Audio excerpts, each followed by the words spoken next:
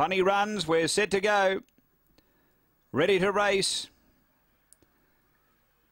And away. Missing the start a little bit, Aeroplane Bowser. Very nice speed from Dinah Dana's going to carve through and lead. Blue Viper up second early. They've got a lap to run, closing to third, Grifter Bale. Uh, then Crash Julie as they go out of the straight. A couple away next, Aeroplane Bowser, Kickham Zabo. Three away, Victor Victoria, then Duna Bale down the back and Grifter Bale dashed around quickly and took over and got three in front of Blue Viper. Uh, then Dinah Dana who's dropped back from Crash Julie, Aeroplane Bowser, and next is Kickham Zabo up to the bend and Grifter Bale straightened in front. Blue Viper sticking on, but the leader's going too well. Grifter Bale down to the line, won it by five. Second Blue Viper, third Aeroplane Bowser, fourth between